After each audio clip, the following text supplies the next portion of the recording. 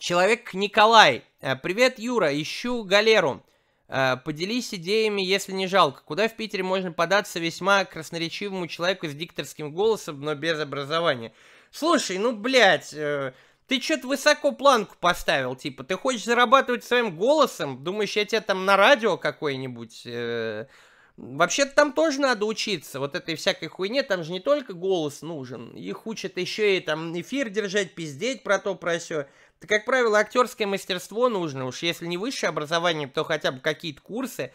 Типа, я вполне верю в то, что у тебя пиздатый дикторский голос, но не так много способов зарабатывать голосом. Зарабатывать как бы без образования придется руками.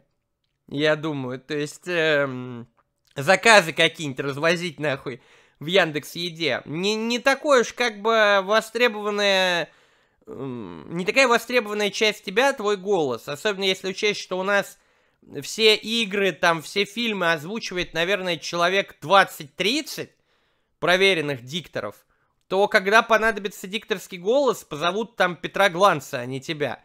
Поэтому я бы особо не рассчитывал на то, что, ну, тебя возьмут на то же радио, будь ты хоть бесконечно красноречивый, и диктор, с дикторским голосом, типа, придется все равно какое-то образование получить, чтобы хотя бы, ну, пробиться через... Ну, опять-таки, может, я ошибаюсь, можешь попробовать на кастинг какой-нибудь записаться. А, постоянно проходят кастинги на радио, типа...